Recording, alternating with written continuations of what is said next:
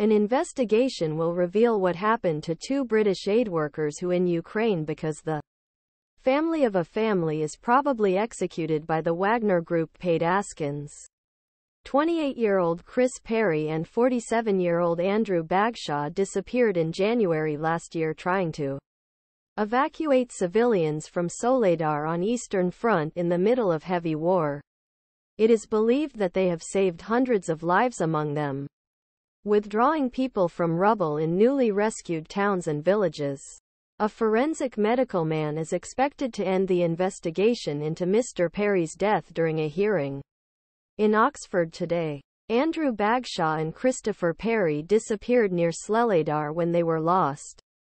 United Kingdom Foreign Ministry said that couple had been killed by artillery shell but Mr. Bagshaw's family said that results of autopsy have revealed a darker fact. Andrew's father, Professor Philip Bagshaw told Sky News to Sky News from his home in New Zealand. He referred to a post-death examination for Andrew showing that the results showed that his son was hit on the body and once. He described it as a classic executive style and said that his wife Dame Sue Bagshaw in Ukraine claimed that the people they talked about were carried out by Wagner troops.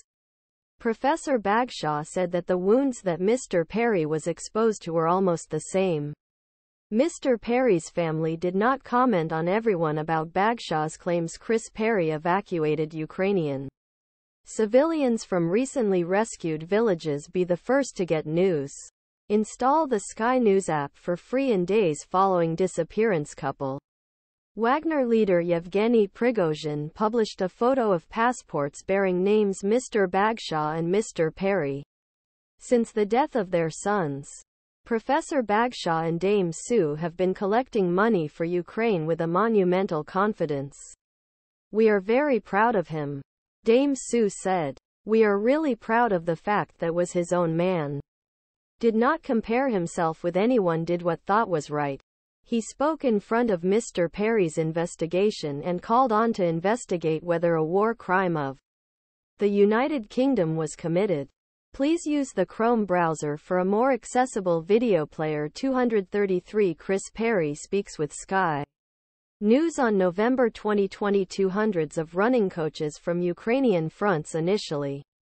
Mr. Parry, who was from Cornwall, spent months by entering rescued villages in the most dangerous parts of facade line he saved. Hundreds of civilians.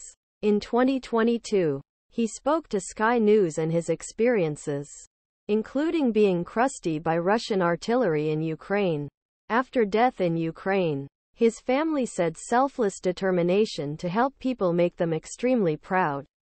It is impossible to throw in words how much to be missed. But it will be in our hearts forever.